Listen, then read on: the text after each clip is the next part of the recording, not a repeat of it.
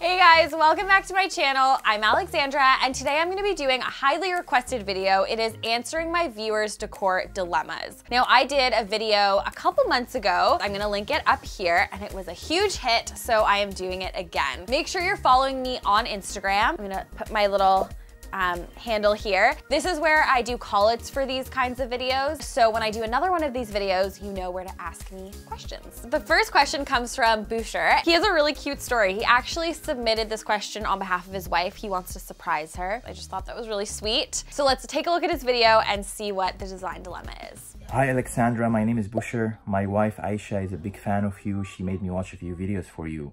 And I noticed since then she has been making a lot of improvements in our home. But I also noticed that she's been struggling in the living room with the couch, like the cushions, the wall. So I'm trying to surprise her with this and trying to hide also at home so she doesn't hear. But I'm trying to surprise her with this and I'm pretty sure that she's gonna go crazy when she knows. So I really hope that you can help her uh, and we look forward to it. Thank you very much. First of all, I just wanna say that this room is already so, so cute. Your wife did such a good job of decorating it. I'm obsessed with those dot curtains and it's really, really coming together.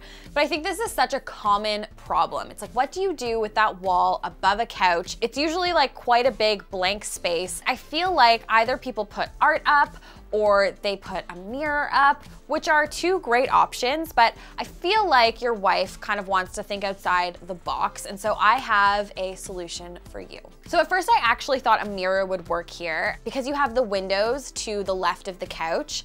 There's so much bright light coming in and a mirror is a really great way to bounce that light off and fill the whole room with sunlight. But since your TV is on the other side of the wall, I felt that the only thing that would be reflecting was your TV. And no one wants to look at their TV in more than one place in their living room. For those of you guys watching at home who have a small space, a mirror is a really great solution. But for Boucher and his wife, I don't think that this is the right solution. What I would do is hang a really long, simple shelf across this whole wall, and I would fill it with tons of plants in varying sizes. You mentioned that your wife loves kind of a boho style. I just feel like they fill a space, they make it feel decorative and just like fresh and nice and happy. And since you have that window beside the couch, there is tons of opportunity for plants to thrive. I do plants in varying sizes, try a monstera, maybe a couple cacti. You could also layer in some art pieces, some candles.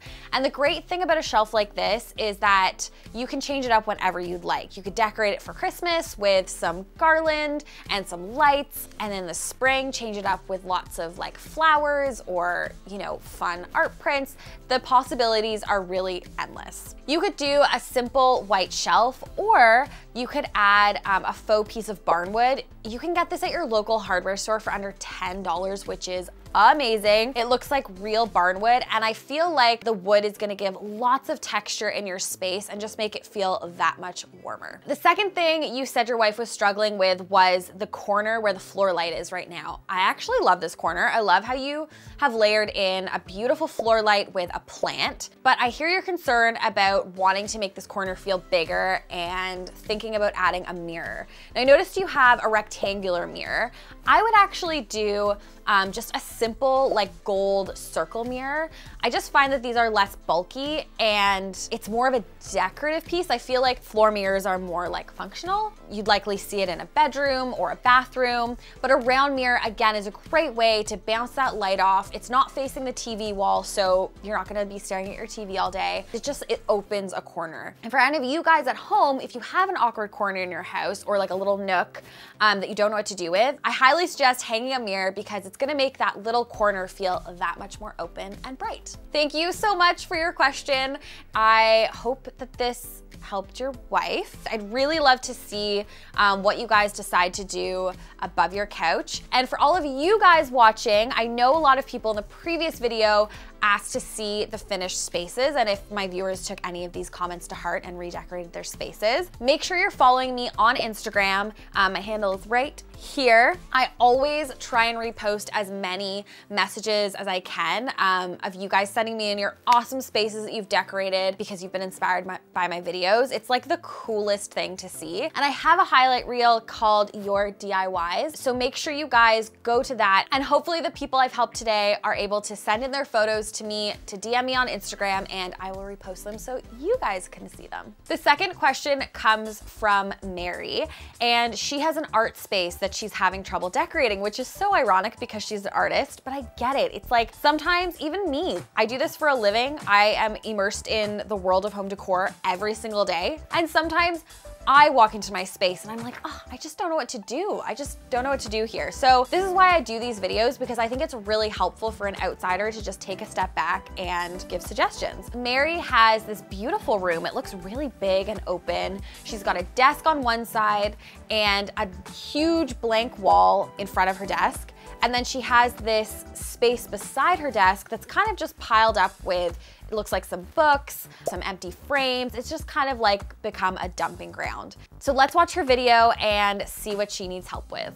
Hi Alexandra, my name is Mary. I live in Winston-Salem, North Carolina, and I am a artist and designer here. I'm kind of looking for some feedback and suggestions from you on how to improve the space I create in. Organizing an art space can be difficult, but I also think you could have so much fun with it. So what I would suggest is on that wall to the right, I would just add floor to ceiling floating shelves. And here's why. I think in an art space or an office, whenever you have art supplies or stationery, it can can be hard to know what you have and it can be easy to forget what you have. At least for me, I need to see everything on display at all times when it comes to an art room or like even my office area or I'll just forget like, oh yeah, I have those cute pens or I have that set of watercolors or even have like extra printer paper. If it's tucked away, I just totally forget that I have it. So I think it would be really fun if you did floating shelves floor to ceiling, and then propped all of your art supplies in acrylic containers. The color of your art supplies is going to totally liven up that wall. It's gonna be organized and you're gonna know exactly what you have and where you need to put it back so everything stays really organized and streamlined.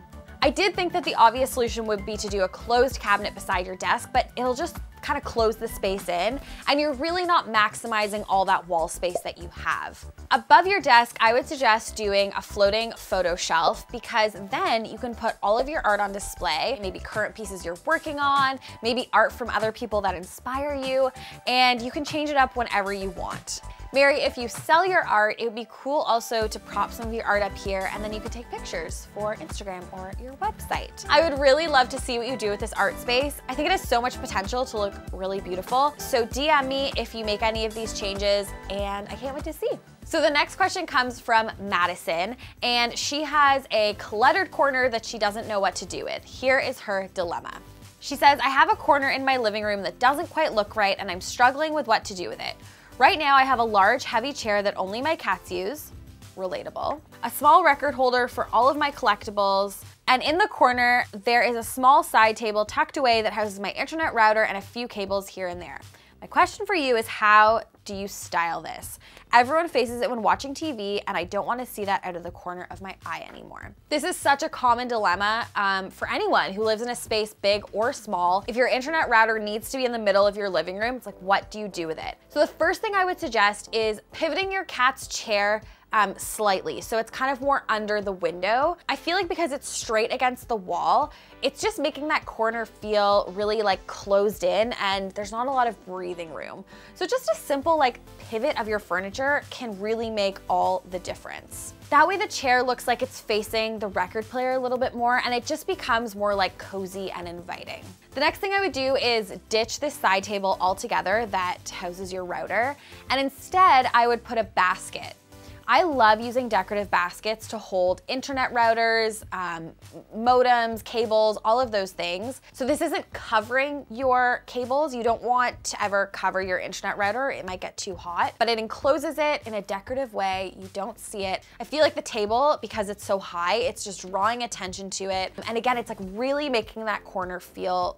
kind of closed in and tight. There's also some really, really fun DIYs um, on how to hide your modems. So I'm gonna link those down below for all of you guys watching um, and you, Madison, if you feel up for a little DIY project. The next question comes from Tori. She just made a really big move halfway across the world to Kenya for work. She's feeling really homesick and her space does not feel like home.